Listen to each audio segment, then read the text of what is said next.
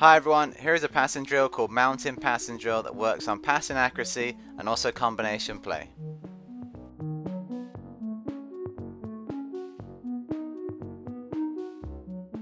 For the setup of this drill we have two gates in the yellow which are around 15 yards apart from each other and then the triangle in the red can be on the right or on the left side, in this example it's on the right and it's around 10 yards away.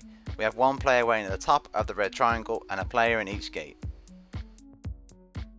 Number 3 at the top gate will play it down to number 6. Number 6 will then lay it back to number 3. We'll play a 1 2, play it back to 6. 6 then plays it out wide to number 8. 8 comes inside the 1 gate with the red, plays a 1 2 with the 3, gets it back around the other side of the triangle, then continues back to the start, and the players will rotate around.